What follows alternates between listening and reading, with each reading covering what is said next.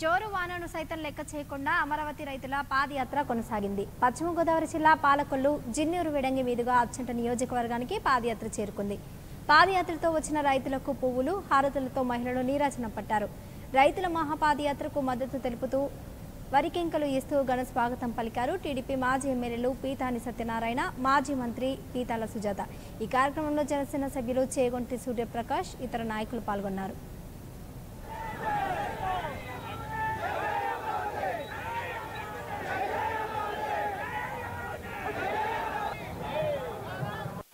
అందరూ కూడా పట్టుకుంటారా పక్కొచ్చే పక్కొచ్చే పక్కొచ్చే పక్కొచ్చే నడవండి నడవండి చూరు బాబోయ్ జై జై అమరావతి జై జై